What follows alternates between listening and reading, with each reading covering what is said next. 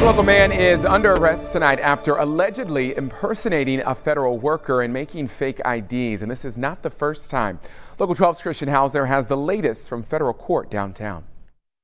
David LaMosh is expected to appear here in federal court on Wednesday. He's accused of claiming he was a special agent with Homeland Security and an employee of the Defense Logistics Agency, which is part of the DoD. The 61 year old is being held at the Boone County Jail. He was arrested by U.S. Marshals on Friday. Investigators say LaMosh fraudulently obtained a United States federal contractor badge to impersonate a civilian contractor technician for the Defense Logistics Agency.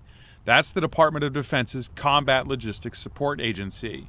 The DOJ says he made fake IDs for both the Defense Logistics Agency and Homeland Security investigations in January. Right now, it's not clear what he tried to accomplish or gain by impersonating a federal employee. But this isn't the first time he's been accused of impersonating law enforcement officials. In 2014, he had flashing blue lights on his car and pulled over a driver in Hamilton County. He then hit the victim with a baton on his face and arm.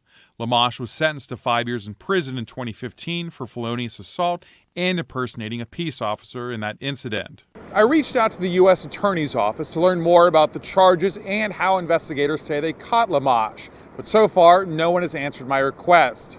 At the federal court building downtown, Christian Hauser, Local 12 News. All right, Christian, thank you. LaMosh now faces one count of impersonating a federal officer and two counts of fraud. He could face 33 years in prison if convicted.